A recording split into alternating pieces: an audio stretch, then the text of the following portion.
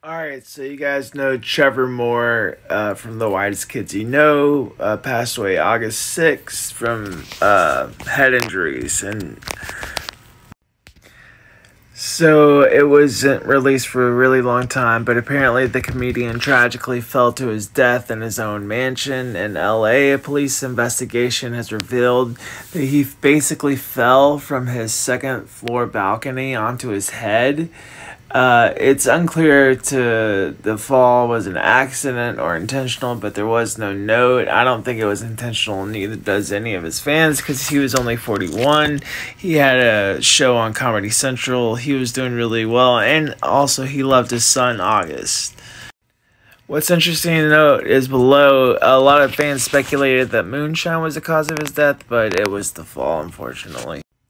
R.I.P. Trevor.